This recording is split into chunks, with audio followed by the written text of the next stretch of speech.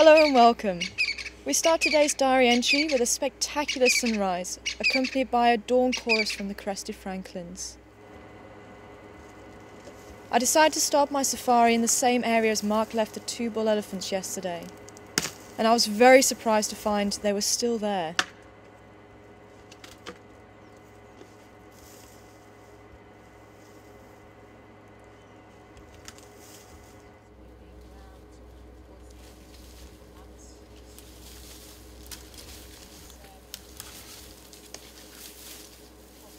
The more time we spent with them, the more I felt accepted by them.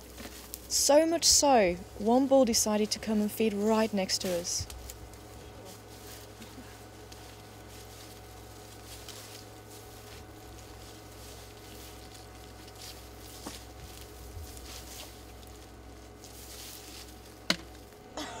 he was incredible.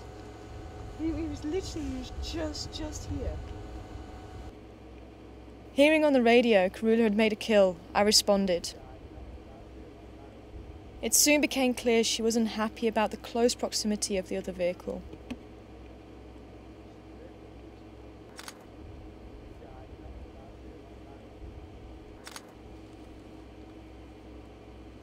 With not seeing Karula for so long, Marc made his way back to see how she was.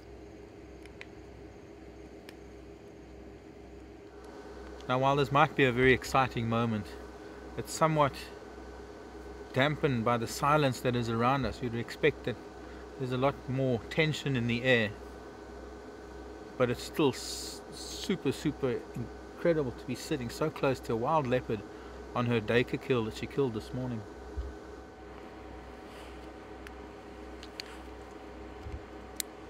Recognizing Jigger and the crew, she was much more relaxed in the afternoon.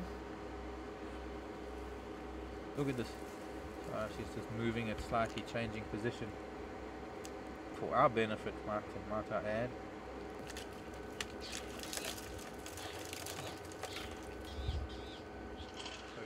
Telcom. Oh, she's very uncomfortable there. What are you doing, girl? I was just trying to get around that other branch. There we go. That's what her problem was. Fortunately, this is an African wattle. We leave you with the Queen of Djuma surveying her land. I can't wait to see what excitement tomorrow will bring.